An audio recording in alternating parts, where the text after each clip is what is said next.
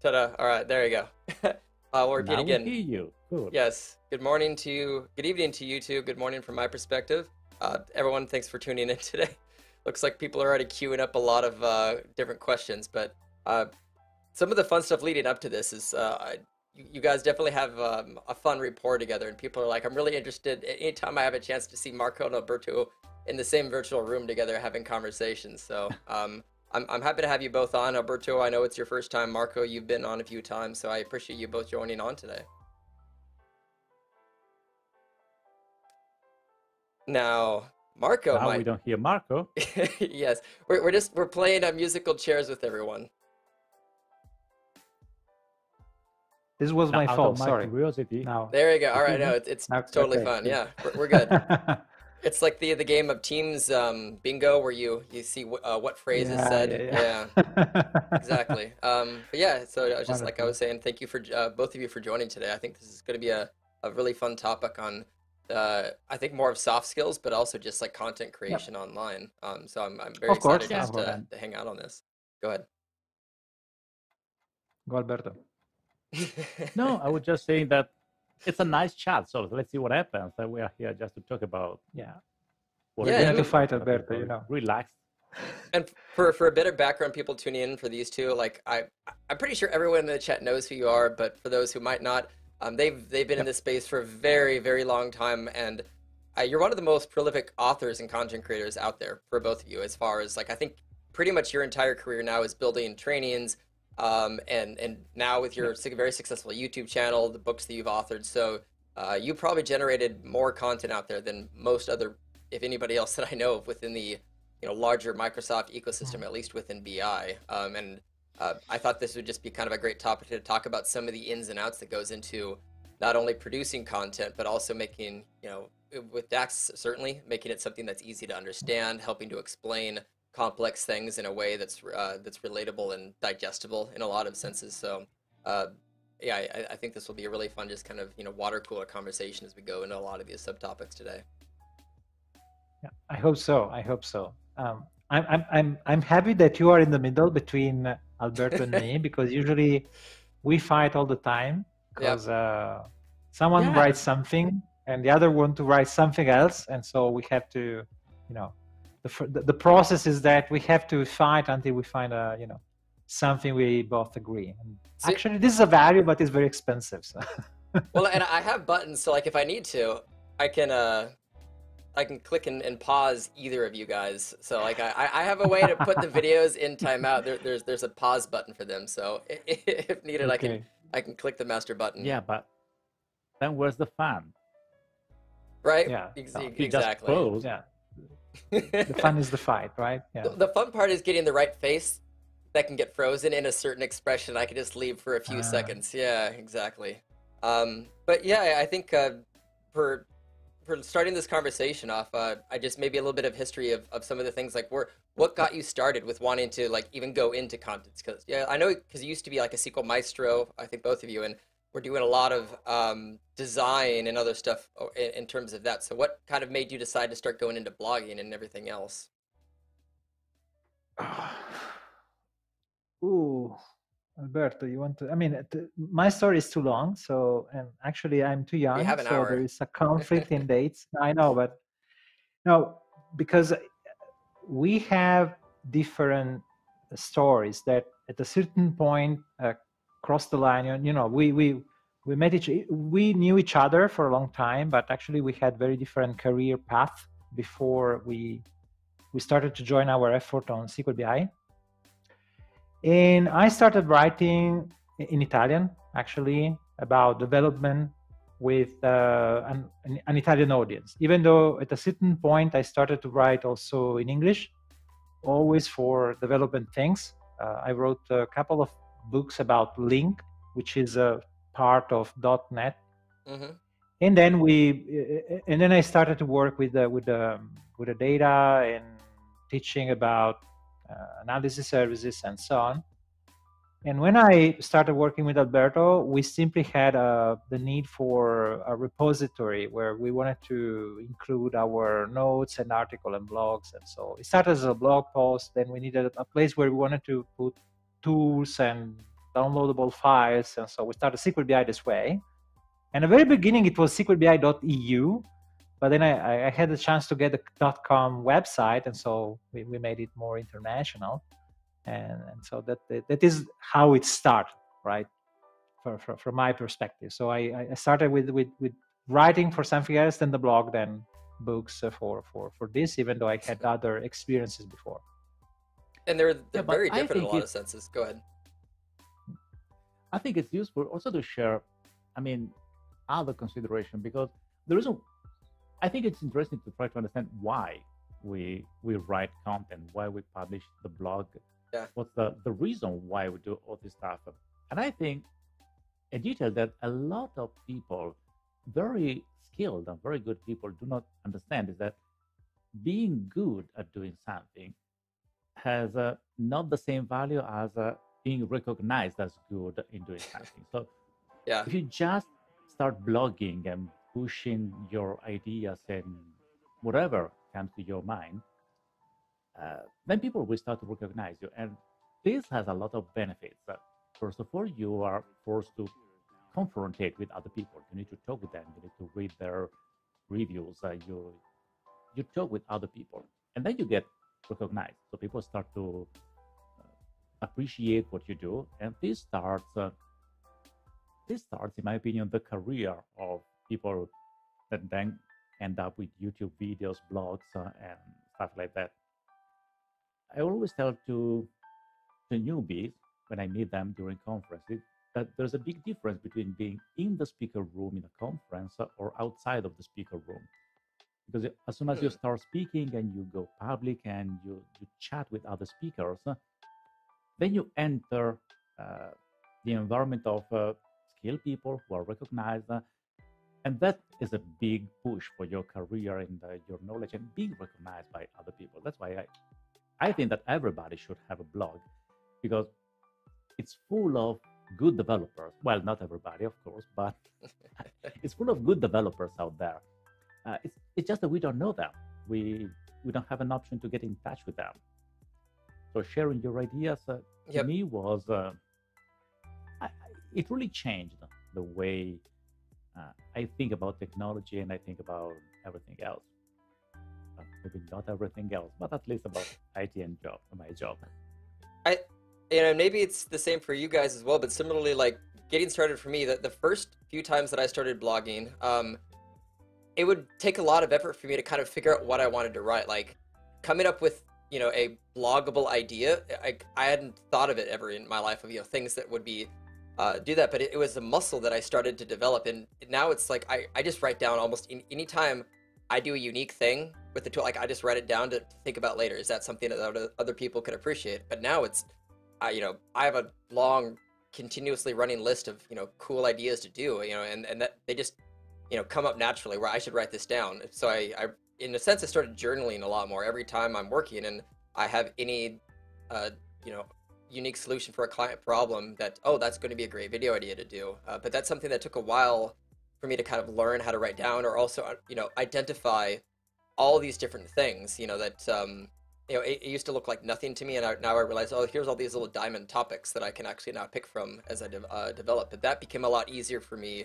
with time is just uh, actually capturing those and, and i encourage people to do is every little thing that you do, just write it down. Even if you only do one of those 10, just write down those things, review them like at the end of the week, and then start turning those into larger ideas that can then become your videos and your blogs. Um, and uh, Rob Collie, like back in the day when I, uh, you know, authored at Power Pivot Pro, it's like the, the two things that you want to try to do, ideally, so you're not just like copying other people's ideas. Is like, is the idea that you're wanting to blog about unique? And if it's not unique, does it give a unique perspective on it? Like, it, you still might be doing something 10 other people have done, but are you given a different spin that at least is providing some new information that people are learning from without just, you know, trying to ride the train of, you know, um, you know, co- copycatting somebody else. And as long as either of those are met, then like that's something that in theory is worth sharing that at least some people might want to read about. Yeah, but besides, you know, the comment that I quite never read anywhere mm. is somebody commenting something like, uh, "Oh, I did know that," or "Oh, yeah, that was boring. I already knew it." Because if you already know something, you just don't read the blog, and that's fine. You you go ahead and you skip it. But it doesn't matter how simple uh, what you are doing is. Uh, just write it. Agreed. You Do know, and it, it doesn't have to be a t 20 step thing. Sometimes like a, a quick No. tip or a, a little itty bitty blog um, can can work very well. When I adjust your gain up just a little bit, it's somebody was commenting it's still low. So added about five decibels, so I think we're good.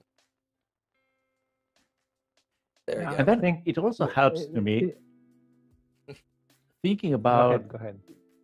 the kind of stuff that I read about topics that I do not know.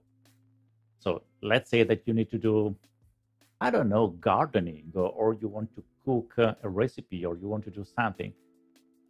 I go for I go searching for on the web for really really simple stuff, and I do appreciate when I read uh, a very simple way of uh, solving the problem that I have in that moment. So that's the same with business intelligence and DAX and everything else. There is nothing that is too simple not to blog about, and it's And on, probably easier to start. exactly. Go ahead, Marco. No, I, I- I think that uh, I mean I, I try to you know I try to provide you a different perspective. I try to be you know provocative in a way. Uh, I mean we we talk nice things, uh, community we want to share, but the reality is that one good reason to write down what to discover, even though nobody reads it, is because uh, you can have a way to demonstrate your skill Mm, uh, versus someone else uh, the day you have to do um, uh, you know an interview. Because uh, if you have a blog as a, as a yeah. even just before the interview i can have an idea about what you do and and just the fact that you write down what you discover provides me a lot of information in a much easier way than i could get from an interview right? So uh, it's a good investment so if you look at the if someone says ah why should i do that? I can go to the movie i can do the movie theater i can i can watch netflix i can do something else. Right uh, it's fine. Agreed. but if you if you if you cut some time constantly over time so not just a burst in you know two weeks you write 20 blog posts and you don't write anything for for other three years that doesn't make any sense. It's useless whereas if you consistently produce something month by month just one blog post per month not too long short with what you discovered that month and if you discover two things, you just have some material for the next month. So just don't be in a rush to, to, to publish something. In the long run, after three years, you have 36 blog posts, which is more than any technical person can read before the interview with you. So if, if you just think about that, you provide a lot of information that says, okay, this is this is a guy or a, or a girl that I have to interview this is someone I want to interview because there is something that is interesting. So I think it's a good investment. And then of course it benefits the community and all this good stuff. But from an individual perspective, if, if you you say you you just think about yourself, that's a it's a good idea the same. So it's even just you don't you don't care about sharing with the community, just do it for yourself. It's it's a good idea. I agree, and I to to your point, it's it acts as its uh its own expert resume in a sense. Like that's something that I, I every once in a while I still actually have a client who contacts me, but then asks me for a printed resume, which I haven't really had one in probably four years, but I have a little you know email template that I send to them that has a link to my blog, my YouTube channel, this and that. Like here's my resume. Like here's 180 videos that I've done. Here's 75 conferences I presented at. So like it it acts as a, uh, a, we- a web presence that just explains your expertise very easily. Um, also, to that note, I think it's really the two things that I, I love to be able to do is uh, a lot of the videos, and especially because I do a file with most of mine. Um, sometimes, if I'm trying to think of a pattern that I did a year and a half, two years ago, I don't remember it in my head, but oh wait, I did a video on this, and I can open it up and I can. Wa- I, I've even watched my own videos sometimes a, a couple years later, and oh, that's right. Okay, I did this to do that thing. So it's an archive of my own skills that I've even relied upon sometimes for future projects. Uh, or it's great when a client like, hey, how do you do this? Send them a video, uh, uh, send them a link to a blog post, and like, I don't need to write an email. Just watch this video. It explains exactly the question that you're trying to solve right now. So uh, there's a lot of like, as you said, personal u- uh, benefits to to this. You know, out, outside of obviously the MVP program and the Yep. uh, community contributions. Yeah, for sure.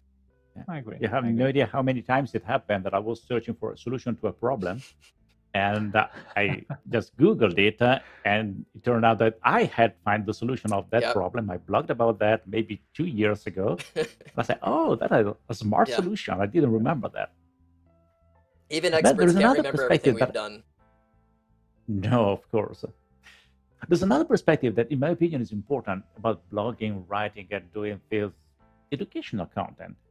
That is, you learn a lot by describing what you are doing or what you s- trying to achieve to somebody else.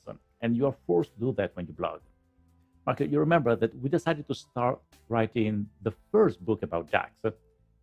And at the time, we didn't know DAX we were just starting to learn. We didn't have a very good understanding of uh, of the language, but we thought that uh, if we were forced to write a book, uh, that was the best way to learn all the details and all the ins and outs of the language, because you need to describe that in a clear way, and you cannot just skip a part. Like, uh, hey, I don't understand this entirely, but I can go on with my job anyway if you are writing a book or if you're writing a blog post, you need to go as deep as you can in order to be able to describe that the right way. So to me, writing uh, books a- and writing blog posts and stuff like that is a is a perfect way to continue learning because uh, you're forced to do that the right way. I completely agree. Yeah, I, uh, just looking at the comments, I just wanted to. Um, uh, Thomas asked, uh, no, not Thomas. I mean, someone asked uh, how much time Mark. should you should we dedicate to? Yeah, Mark.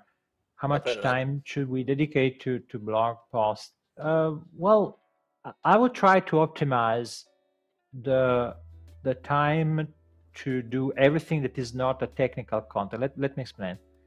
If you don't have a blog, you might spend a lot of time trying to figure out which platform, uh, which layout, and all the stuff. Uh, don't worry about that. Uh, if you have a LinkedIn profile, just start writing on LinkedIn. It's a zero cost. I mean, you don't have to do Mhm. anything. You have already the layout, and you just produce the content. And by the way, LinkedIn is not a bad idea.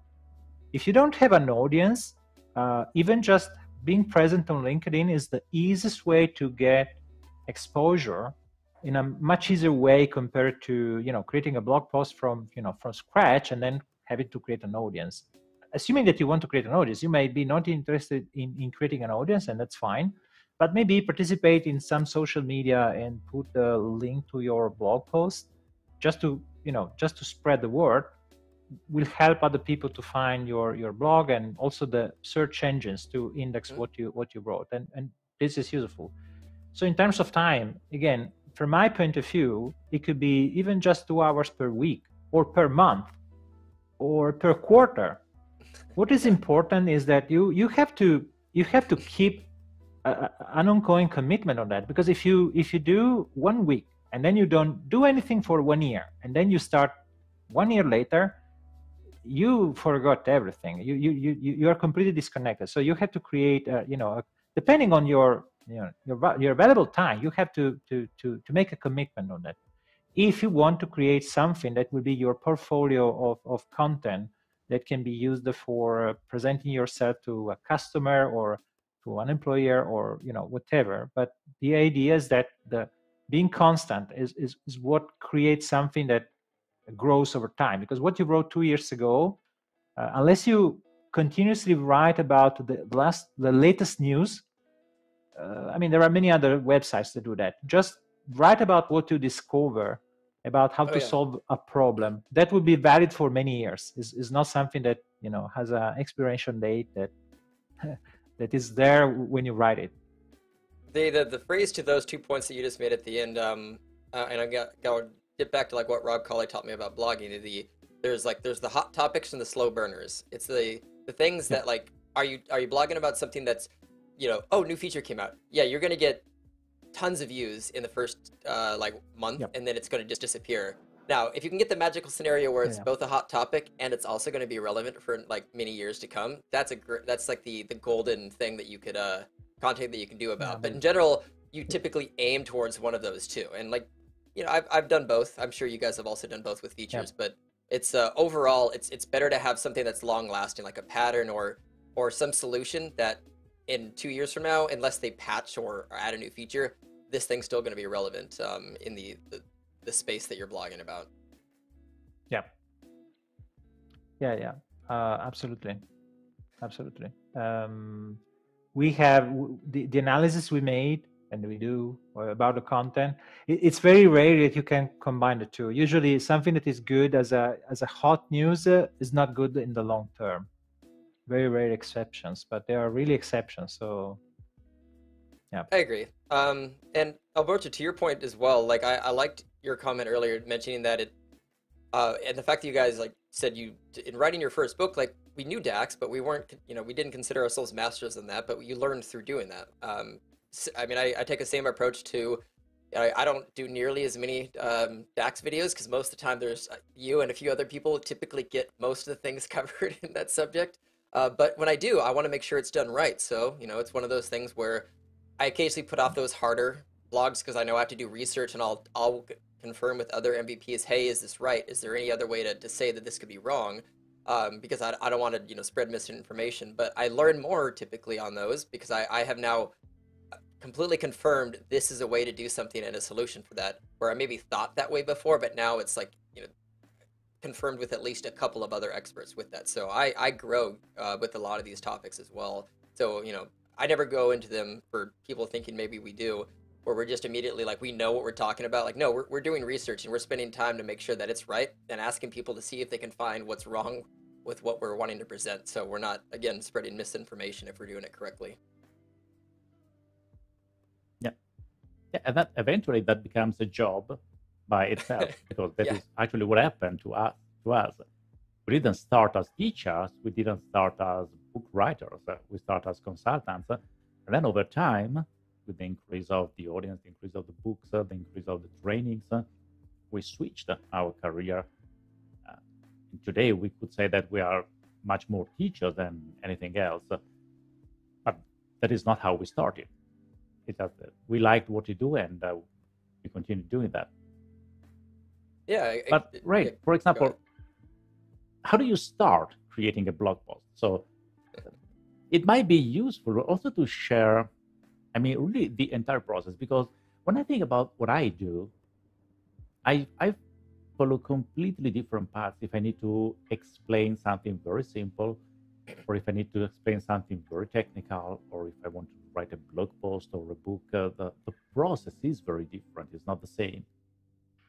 Yeah, well, I mean, the, the medium that is presented and has mean, like there there's a little bit of extra flair that goes into YouTube. You know, books have to be a bit more kind of dry and ex, expla- uh, explanatory. Um, for for me, I think I, I start with the idea first. Um, I mean, I mostly just do do videos, but uh, I've also done courses and other stuff. But it, it it has to be framed to the audience in mind. So once I have an idea um, that I've written down, usually just the first thing reviewing to make sure, oh, is this something that actually exists for other people? Um, meaning like I, I actually do check online to make sure I'm not accidentally uh, repeating like verbatim what somebody else has done. I've I made that mistake a few times where I published that and then a couple people will link down. I did this exact same video or like a week ago. Oh, that's bad timing. But maybe I should just do a quick Google search to see if this feature has already been mm-hmm. discussed in a way.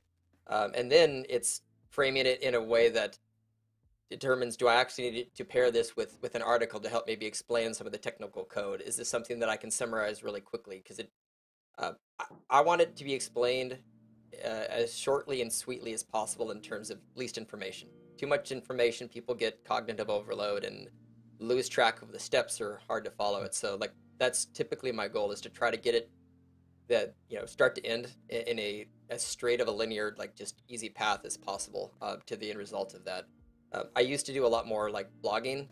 Uh, I I hate having to, to edit my own uh, documents for like grammar and punctuation and syntax and all that. So what, it's one of the reasons that I switched to videos. Is I just found it easier, honestly. But uh, those are like I'd say some of the primary considerations that I uh, you know consider for that is you know with the number one really being is who is the audience and is it being framed in a way that will be understood by them because it's easy for me to get caught into my own head and while I'm writing this really am I writing this just for myself and explaining this to myself, or am I really explaining it in a way that the you know average consumer of this will will understand easily? Mm-hmm. Yep. Good question. Um, I did have a couple of uh, things in here that I can actually pop up. I like Matthias's question. Is it true that your book sold more than The Hitchhiker's Guide to the Galaxy? no. That would be that would be amazing if it if it was true. No, no, no, no, no, no. Absolutely no. Uh, I think that you have to figure out the, the the difference in magnitude between a technical book and, and, and, you know a science fiction book, which is a subset of you know the general uh, novels. So just to give you an idea, uh, a book about technical stuff like we cover could go from a few thousands copies all around the world to a few 10,000 copies. Okay, so very successful books, technical yeah. books, a few 10,000 copies. But you will never reach 100,000, just to give you an idea, right? Yeah. Now, if you go into science fiction, you start to talk about millions. Of course, it depends on which kind of science fiction, but the very successful science fiction books could be, because I have seen a few numbers from yeah, book publishers it's something like uh, yeah maybe 10 20 million you know when you are very very big. Uh, so you, you know two orders of magnitude more.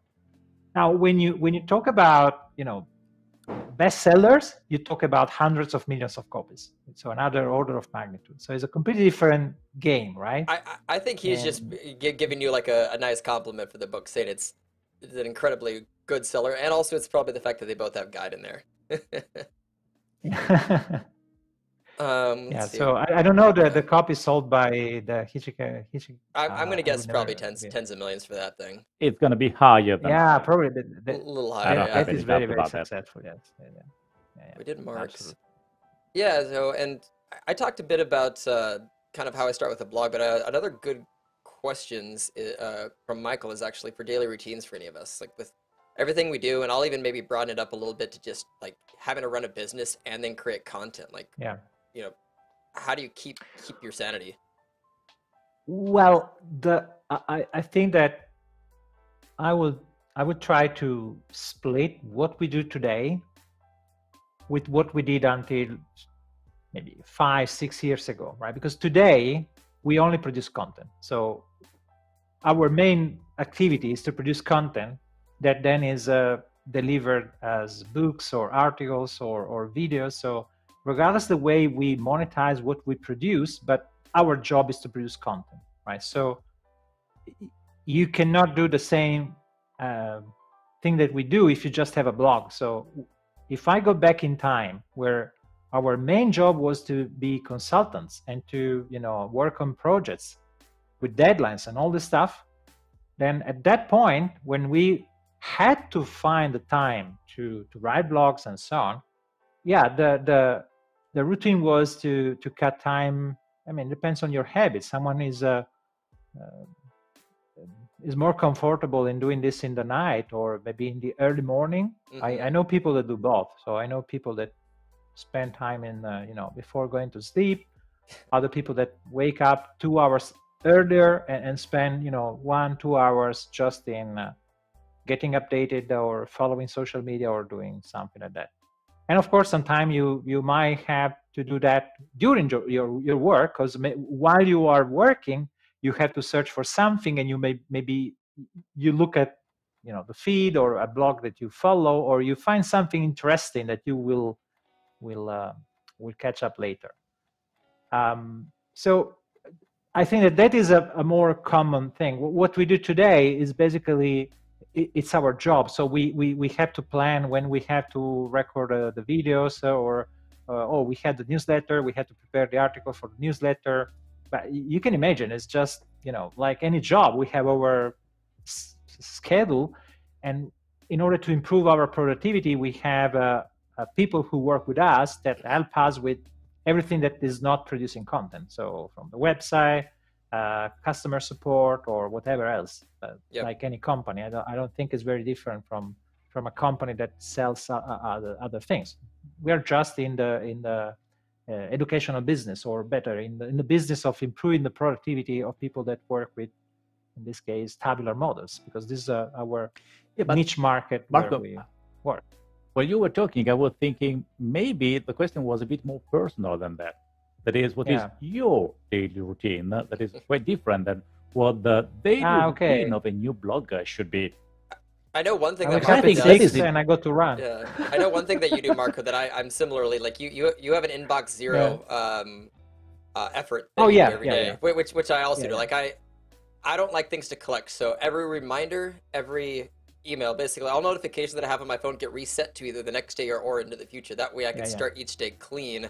And otherwise, it stresses me out. Like by the time I see like 65 reminders and emails, like it it becomes a burden for me. So I I keep things moving out to dates and times as as needed. Um, and I I remember like a year or two ago you, you mentioned that uh, that uh, if I recall, Yeah, I mean, yeah, uh, go ahead. Alberto is different. Yeah, Alberto, I think is the uh, Alberto is different than what I do. I uh, yeah, I have the inbox zero rule, and th- th- that doesn't mean that I can answer to everything. I simply you know dispatch everything, and and very quick triage of the of the incoming email, and and and usually all the other thing that you do when you follow this path is whatever is you can reply in five seconds, ten seconds do this immediately because it it takes more time to you know to delay that to review that Agreed. later is just a waste of time Uh, but i think alberto is different from from this point Yeah, of I view use a completely different way of doing my job. That is,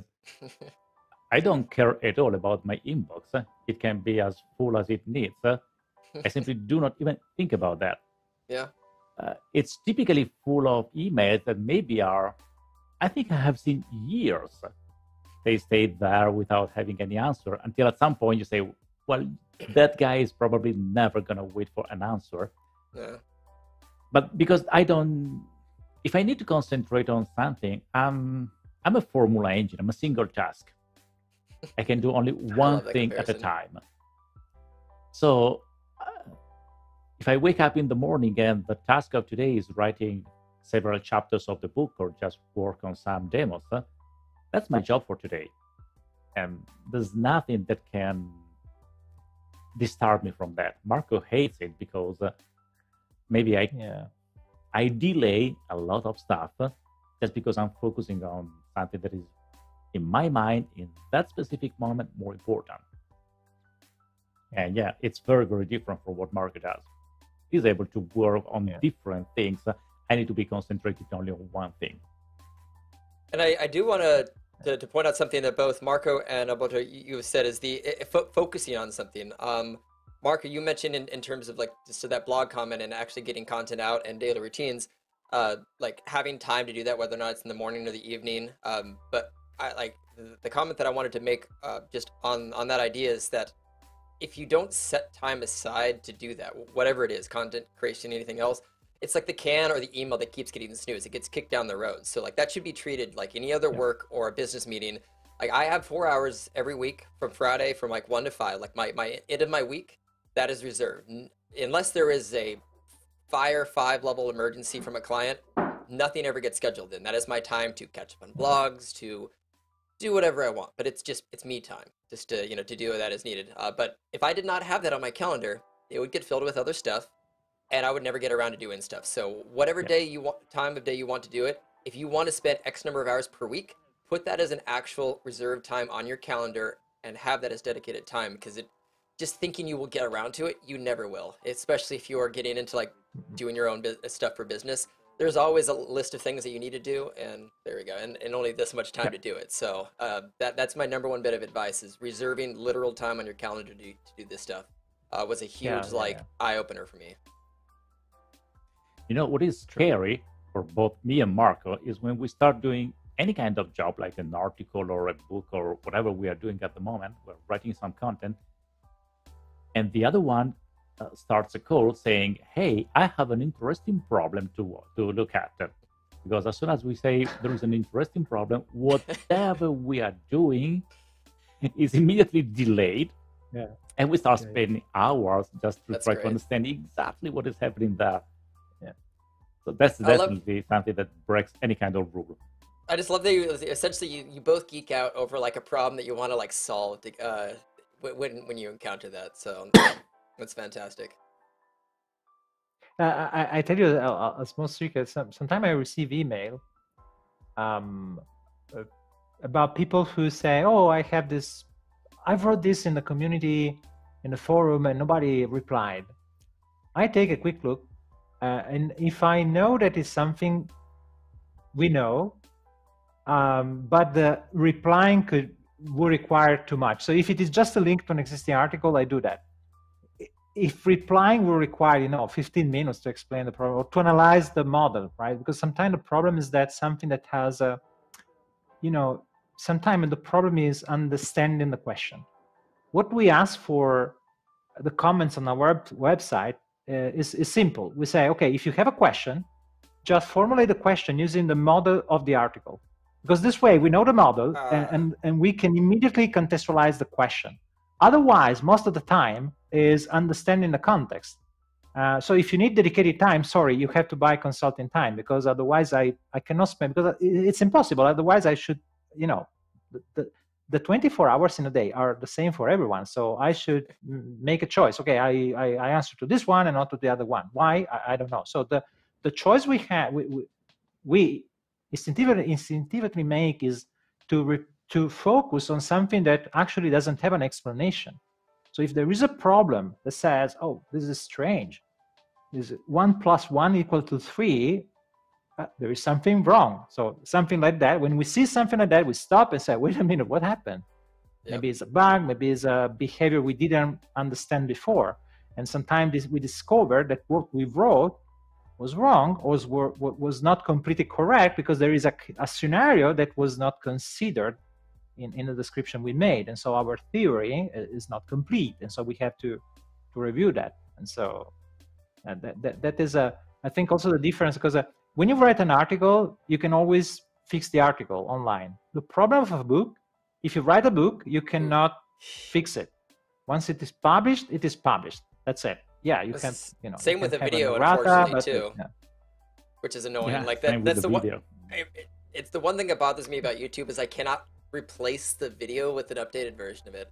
I really wish they would allow it to do that because there's been times where, like, I have to delete and redo the whole thing, you know, uh, just because there's that one spot that I don't want. Yeah, so I I, I, yeah, I like the but... fact that with a blog article, at least it's on you know WordPress or however you host it, so it, it's easy to just go and edit uh, ask a question. If you if you go on YouTube and you look for mm. for a topic, and you find a video mm. that is five years old, will you open it? It. I will first try to find something newer. If there is nothing newer written about it, then I still yeah, might think indeed. that's that the, the topic hasn't so, changed potentially. Yeah. So, for this reason, from my point of view, the the the video content is something that has a reduced um, lifetime compared to an article. Moreover, you can update the article, and if you do that, you can get a, an updated date of publishing, mm. which improves the visibility on the search engines. And sometimes we, when we realized that, we, we said, okay, so we have articles. Instead of creating a new article, we sometimes we said, okay, we already wrote it, so we don't have to write. No, it's if something changed it's better to update an existing article rather than to create a new one because uh, uh, if you create a new one, you start from zero in terms mm-hmm. of you know incoming links. Uh, this cannot happen for the video. Uh, the video once it's done is done, and you can just create yeah. a new one. An updated and, like it is hard expansion to, yeah. to. Yeah, yeah, yeah. I I, I agree, yeah, but that's a yeah. yeah. I hadn't thought of the SEO um, in search engine optimization for people listening in in uh, in terms of changing the dates because the video once it's published, that's the published date. There's no adjusting it new or anything. Um, and as you said, the flip side is the way to update a video is, you know, I, I release like a part two or hey, here's this here's the uh, an updated yeah. improvement to the video I did last year. And eventually, I actually yeah. go through about once a year, and I um, I now have a, a yearly review in January where I, I look at anything that I actually want to delete because sometimes I forget a new features come out, which has made this video technique yeah irrelevant or wrong, and I want to make sure people are watching yeah, that. So yeah. that's actually another important thing maybe to mention is uh, if you are writing something that is, let's assume there is a product or feature limitation, you have to do this five-step process, which is correct today, but maybe someday they might release a feature that will shorten this.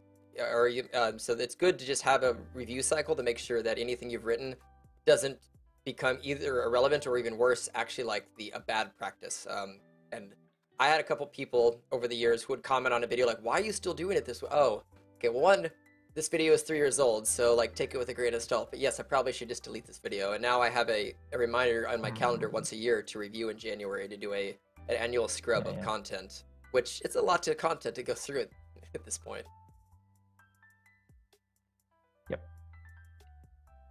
I love some of the comments in here. Uh, Yeah. They want to know I how do you keep the- the yourselves comments fit and too. young. Yeah, your your your looks remain constant like VAR. That's amazing. I, I, I'm okay. My my technique is simple. I lie. Ask me how many. You know, ask me my age. how old are How you, old are Marco? you? Twenty-five. There you go. I um Yeah, yeah, Yeah, that was already twenty-five. like several years ago. I know, but you know, you lie. You start lying. You continue to lie. Someone will believe something. So that's fine. there's a Fine. phrase that a It's a relative told me. It's funny you say 25 because I I had a, an uncle once Yeah. tell me that once you hit 25, you're gonna keep getting older, but mentally, you always have an image of yourself at like that age. That's the Yeah, like yeah, full adult. You just start breaking down, but you always think of yourself in that form. You know, somewhere in your 20s. That's. I I apply this rule. Uh, yeah, completely. Yes. exactly. Um, let's see. Oh yeah, so uh, one of the things that I, I did actually want to talk about is books. Um. So that, you know, I, I haven't written one yet. I've at this point been asked a couple of times by uh, Packt and you know, just a bunch of other uh, Apress, etc., to, to write books. Uh, it's also it seems like an insane time commitment for one. Um, so I guess two questions. What have- what have been some of your takeaways from writing them over the years, and and also get considering how quickly software changes today. Because at least with Excel, you had a primary release cycle every three to four years, and it didn't change that much. You got security updates, but it features were fairly consistent. So you write a book, it's going to be relevant for a few years. You write a book today on Power BI with screenshots, in 12 months that could be a drastically different because the you know the product iterations are so much faster. So like, what is your I guess both opinions on just writing in general, then also its relevancy now with the increasing cadence of uh, changes in, in the software. So I, I don't know, Alberto, if you want to to to start first. But otherwise, I I can start. and No, that's I know that I'm gonna take that's nearly long the same. time to explain. That's a good I think, well, something that probably makes me look much, oh, not much, but just old, is that I think that today's software is running just a bit too fast. There's not enough time to. I know. Yes. You asked me to start first, so no, where's that no, pause no, come button on. you were talking before, right? Okay. That's a good Right. moment to stop, Come on. Just just just pause it. No, this will be great. Like I, I like very two different opinions. I think this is That good. would be great. Yeah. No, software is running really fast, uh, meaning that uh, mm, a lot of features are well, they start, and you can say that they are actually quite never finished because they will be replaced by something new quite soon, and there's not enough time to consolidate features and uh, build the ecosystem that is needed in order to to really uh, master some some technology. If you think about DAX, DAX is uh, 12 years old, so it's really young. Yeah. And 15 years old. So old. you're DAX saying that is half of my life has been yet- spent on DAX. So yeah. Exactly. I mean, you were not even a teenager when DAX were, was here. It's impressive Or that you you've been wrote a book at 25 or 12. 12. Yeah. Yeah, yeah. Interesting. Interesting position. Yeah, it's cool. Okay. With that said, you are right. If you write a book about with screenshot, if you write a book like mm, what we call the click next book, so the book that tells you exactly step by step how to follow a procedure in order to obtain your goals, Mhm. but they aim to teach you the user interface and all the tiny details. That's gonna be old very very soon, and that's one of the reasons why we decided to go with DAX and to focus more on theoretical topics. So Mm-hmm. we decided to write about DAX. We tried to reduce to a minimum the number of screenshots about the tool. We just publish the result. So like the result of a pivot table or the result with a matrix, uh, because that is gonna be stable. And even though the user interface might change, the numbers are still there. They they do not change. the only book we wrote, well, I think the last book we wrote with the user interface was the Introducing Power BI. That is a book that we didn't want to write exactly for this reason, because mm-hmm. we thought it would be old very, very soon. But that uh, was a free book, so we didn't sell it. It was a free book that we published, uh, yeah, for free. Therefore, as of today, that book is old. So the, the content, the, the concepts, and the user interface that we describe is no longer valid. Uh, but nobody can complain about that because just it's an old book, and we are not planning to write anything about user interface in the last, in the next. Uh, I don't think ever. we will probably never write about user interface specifically for this problem. We still have the problem with the trainings yeah. because in the trainings we need to explain the yeah. details. Uh, yeah. And that's the reason why every now and then we need to reshoot the entire training uh, or part of it because things change. So with the last training we recorded, uh, the tabular one, we tried to split it into different modules uh, so that uh, each individual module can be replaced at some point. If things change or if technology changes too much, we can remove a part and replace it with a different one. But with books, you cannot do that. Uh, exactly. So, Good. Uh, clearly, I have a different position. Um, I mean, now, in reality, I, I agree with what Alberto said, but in order to answer to your question, so the first question you should ask to yourself is why do you want to write a book? That's uh, very important, right? Because uh, you may want to write a book because one, you want to write a book just because you can say, I wrote a book. Two, uh, you want money. Three, you want um, recognition from the community.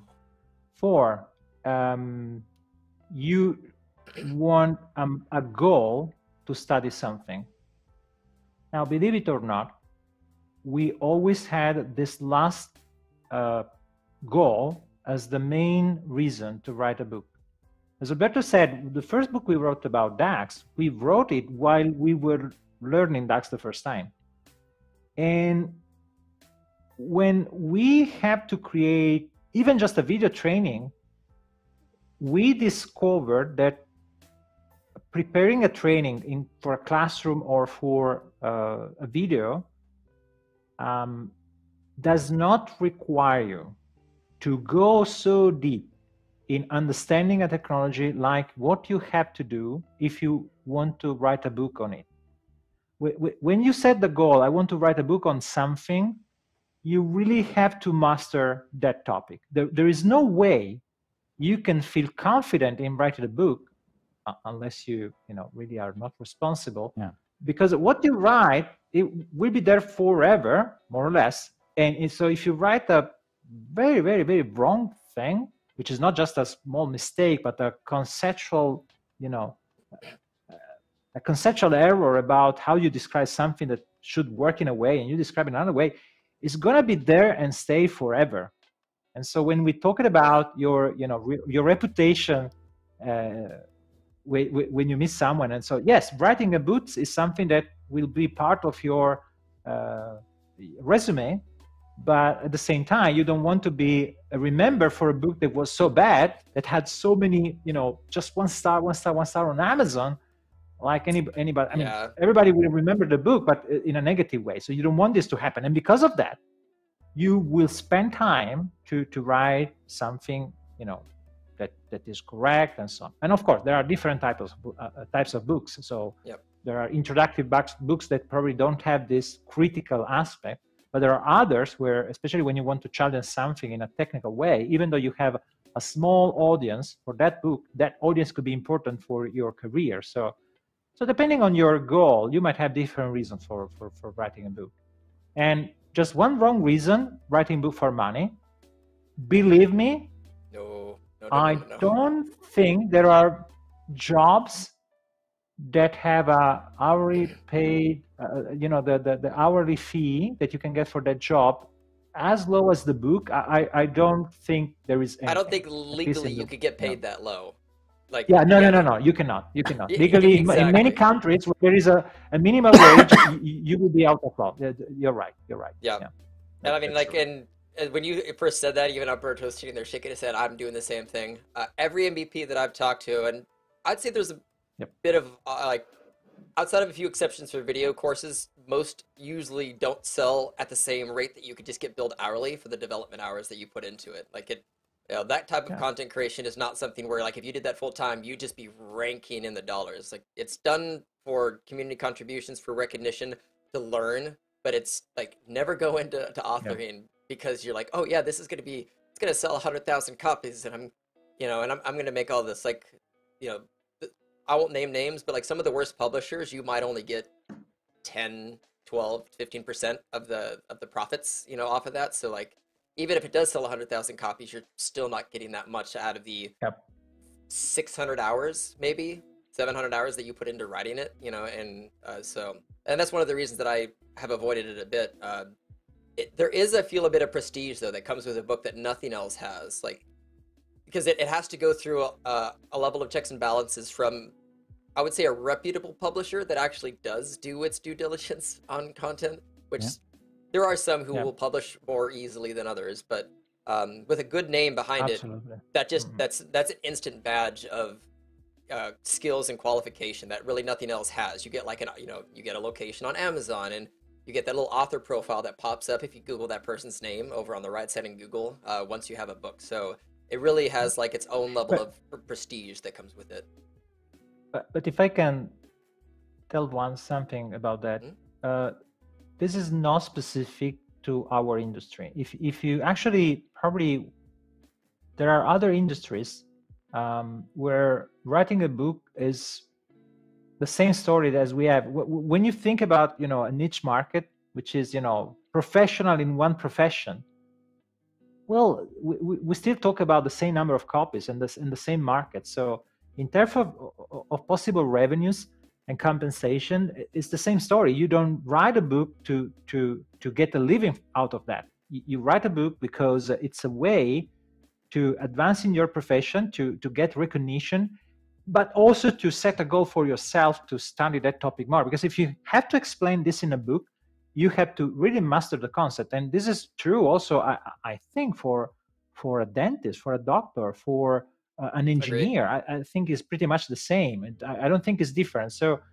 uh, it would be wrong to think that, um, oh, it's uh, these publishers that don't want to. No, come on. The the, mar- the size of the market is that one. So Yeah. If there was a larger market, that the, the publisher, the publisher simply has to sustain uh, uh, other costs. Then we can discuss about, you know, there are different publishers. I agree, but also the publisher that pay more and that, but but or, or that provide uh, maybe- they pay less but have a better reputation because they they spend more in the post production stage but in any case we, we, we talk about small difference in absolute terms you, you don't you cannot live writing books uh, maybe there is someone that can do that but there are exceptions right so maybe Yeah. that if you sell hundreds of thousands of copies of excel but excel is also a market that has a lot of books so it's, it's not easy to Yeah. you know it's it's not easy It's, uh, I mean, I Yeah. almost think of it as like with all that go ahead, uh, Barto. with all that said, if you have the creativity to write the next Harry Potter, go for that. Yeah. Oh, Don't yes, take our yes. advices and go for that. yeah, yeah. Um, to summarize, I, I like Mhm. your both of your mentions that a big factor, I think, especially with book writing at least, is um, how detailed versus like UI driven is it? Things that are UI driven are going to be are probably stale. Some some screenshot in there is probably outdated by the time you publish it. If you took a screenshot six to eight months ago, Yeah. um, but if you're doing technical like code and other stuff where it's you know Dax has evolved and there's occasionally a time where like a pattern is replaced with a better syntax sugar pattern, but for the most part, the, the core language doesn't change that much. So, you know, a, a book that you've written four Yeah. years ago, 85, 90% still relevant. Uh, a five year old book on, you know, building a report or a dashboard in Power BI is, is almost useless uh, at that point. So, like, that that's just, a, I think, a really important factor to consider is uh, what will change and when. Um, and it, it depends on how, how UI driven, I would say, the, the content is. I had a I like Mark's question that actually just popped up here. Um, it, did did you have a comment or Yeah. can I? Okay. What is what do you question? guys? Yeah, Oh. what do you guys do on Instagram? I don't see any relevance much for it related to like Power BI, but as he's mentioning, like businesses need to have an Instagram presence with reels, stories, posts. Uh, I, I can't imagine tutorials can fit into that very well, though. Well, let me Well, quickly answer to this because it's very simple.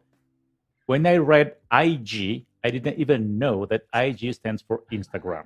It's So that gives you an idea about how confident this I'm with tells social you networks. how old is Alberto is. How old Alberto is. In IG. Just What is 25. IG?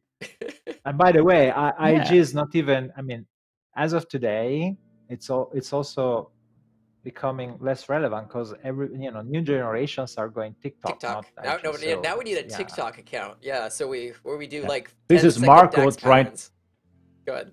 This is Marco trying to feel young. TikTok. Yeah, no, no, I want Marco to see you on is young. TikTok, I, Marco. I, I don't, I don't like TikTok. I don't like, I don't follow Instagram, but I know them because I, I have to know the business. Then I do my personal choices. But Yep. from from a brand perspective, uh, it's complex. How do you? I mean, How do you market? Yeah.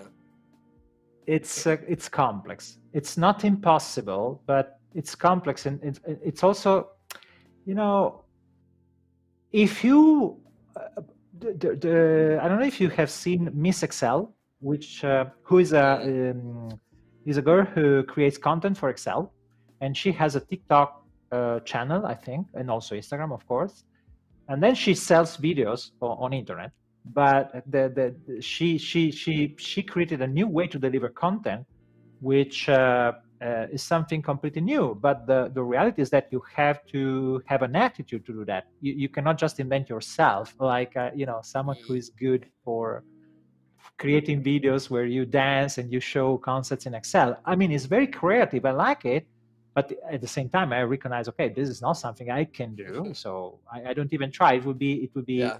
You know hilarious probably but not effective.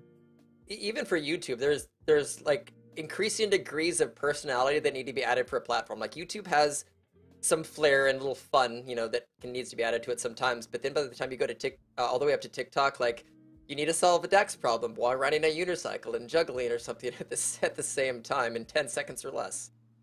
So it's yeah, it's an interesting I- I medium think the um, for sure. yeah. Yeah. Yeah, Uh, but the span of attention that you dedicate to Instagram and TikTok is much smaller than what you dedicate to to a YouTube video. Usually. course, So it, yeah. it's also different. So If I was to ever do anything like that, it honestly might just be like a, a GIF clip that's a couple seconds to, with a link to like, hey, go check out the full video on YouTube if you actually want to watch this. It, it would just, at that point, it's a promotional tool. It's like when I create a video, I post to LinkedIn, sometimes with a GIF uh, that shows a, a quick Mhm. snippet of like the cool thing that I just did, and then you know for people to check out the video. But that's the only use I can really see those platforms is if anything, further exposure or posts to then link back to the actual content. yeah, yeah. I don't know. I mean, uh, we we thought about that, but uh, as of today, we don't see a way to to be effective. There is there are also limitations in the in the, the platform about what you can do in terms of links uh, that are not very very nice. So at the moment, we don't have any plan to to create content for those platforms.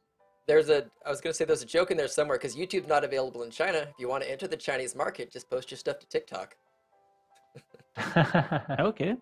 Yeah, because I mean it's owned by by Yeah, uh, true, true, Chinese true, true, company. So it's true. It's true. Mm. I have a couple of other good questions. I know we're getting close to the hour, Yep. so I will say I'll I'll try to get through what I have on here. If anybody else has some remaining ones that are relevant to the subject matter, because I Okay. otherwise I can imagine uh, for the audience like we could easily spend probably an hour answering questions that you guys have. But uh, Yeah, let's of let's course, of let's get a few more uh, co- um, topic related ones in here. So Matthias had Okay. a, a great one. Um, during the lengthy lockdown period, uh, has your approaches to content creation changed at all? Uh, I'll just give a quick thing and then let you guys jump in. Um, I started the live streaming, Hmm. you know, during lockdown. Like I, I missed the community engagements. I missed having our MVP summit in person, and I wanted to kind of connect Well- more. With, so that's why I, I started. Uh, that's that's the one thing that changed for me is I, I started live streaming after COVID. So they have there two things happen.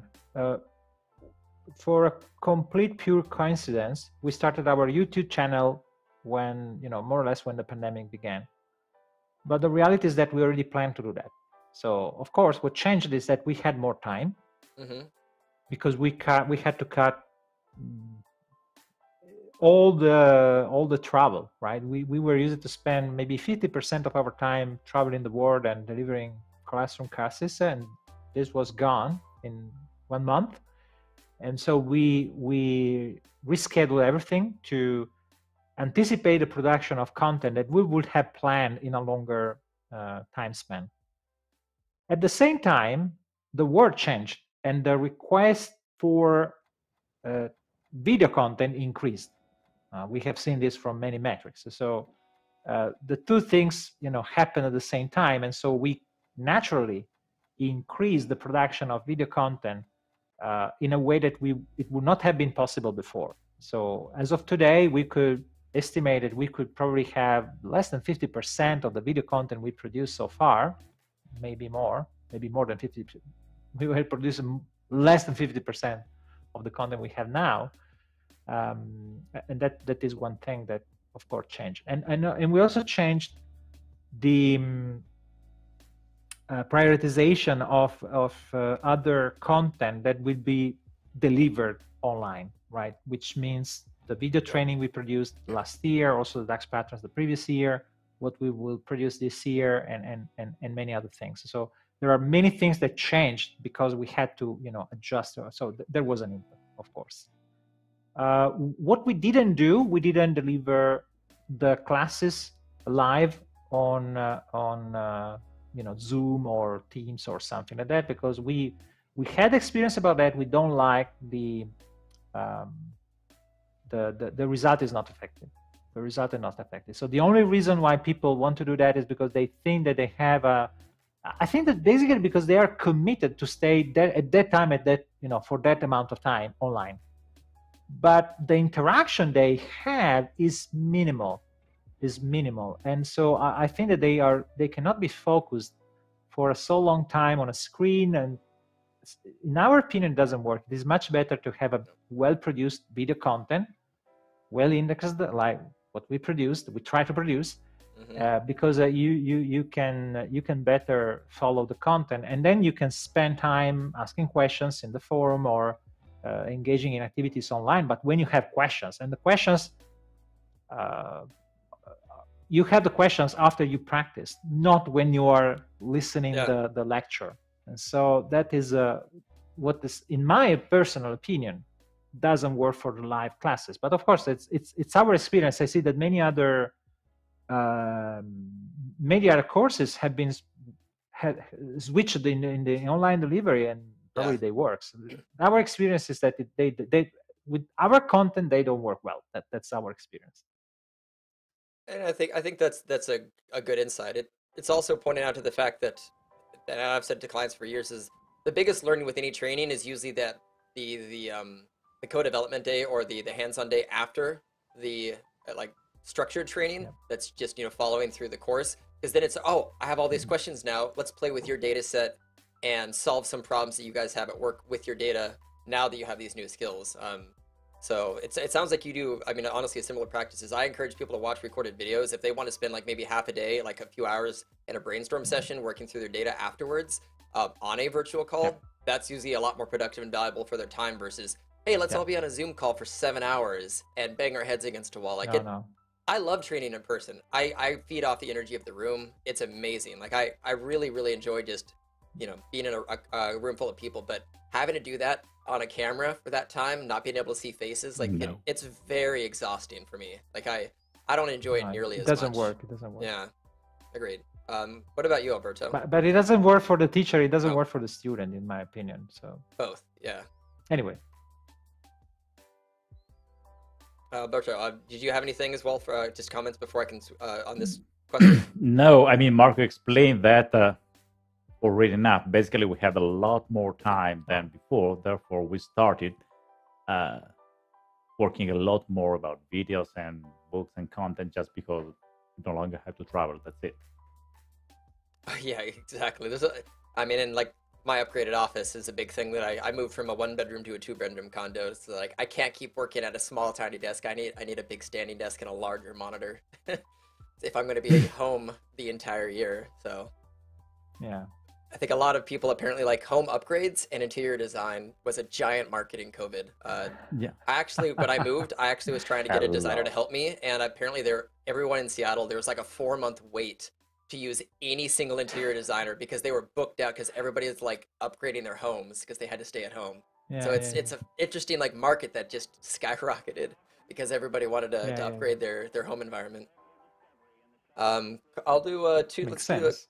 Couple more questions related. Uh, one that I actually do like. Uh, Steven had a great one about uh, what content do you want for your next book?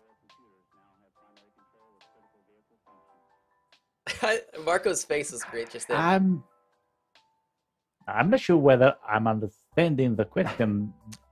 what do Does you? What, that so, mean what are we working? yes. What are you working on? Do you have a next book in mind? And if so, So- what is the, the the next book that you're working on? Okay, the short answer is uh, we always have a next book in mind, Yeah. and the long answer is uh, we always have the next book in mind, meaning that we are working, of course, on more content. I don't think we are ready to disclose anything so far, not even Yeah. about Yeah. timings and anything else. The thing Yeah. is, the the ecosystem of Power BI is in, is becoming really huge. Yeah. So doing books and doing content requires a lot more time than it used to be. Therefore, any project is going to be quite a long one. And the next book and the next training, they're going to take a, us a lot of time. Yeah.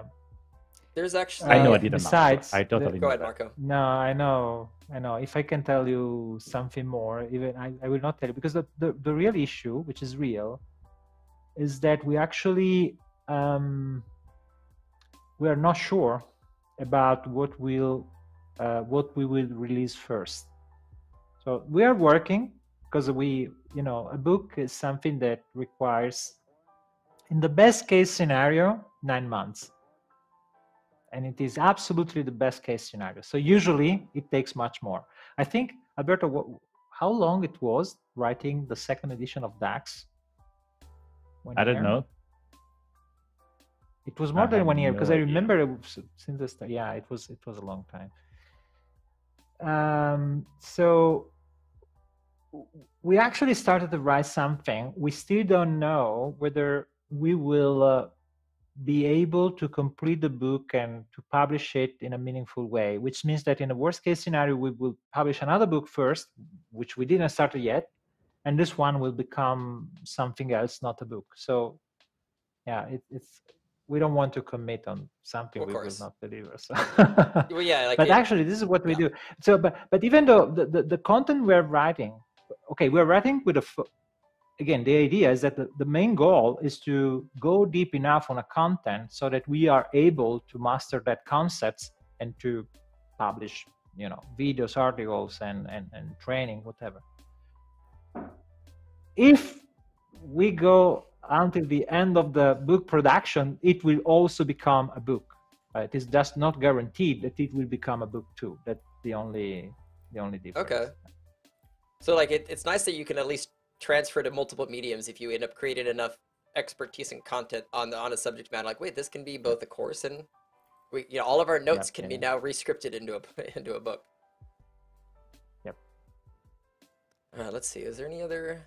I think we're just about ready to wrap up. Um, you know, it's the the, the last one that I'll, I'll I'll in with is it's more of a broader question around conferences and maybe just presenting. But James Yeah. had a one a lot earlier. Just are there any conferences that you guys are looking forward oh to? this is a nice question because uh, Yeah. it involves traveling and i like traveling so um, Yes. we should be in london at SQLBits in march right Mhm. then alberto you have something in netherlands i think Uh, yes, but I don't April? remember that. Let me check. Will you Yeah, be there- at there is a Power BI conference I next? in- have a lot of things actually. No, the end of March, that's the. Power BI Day, Power BI Day is in Utrecht. The Nice. sequel okay. bit. ah, so in march in march okay Yeah. Yeah. What are your and the other favorites that you big have scheduled conference the uh, Then the par- I was just saying, like uh, of the of the, what, everything that you have scheduled for the year besides SQL bits. So are there any other like big call out favorites that that you're really excited the. I, I think the PASS Summit is the obvious one Yeah. I mean, if if if we can travel in November, I, I want to go to Seattle, and you know it would be a great reunion with a lot of people we didn't see Uh, for at that mhm. point at least three years. Yeah. Yeah, three years. Wow.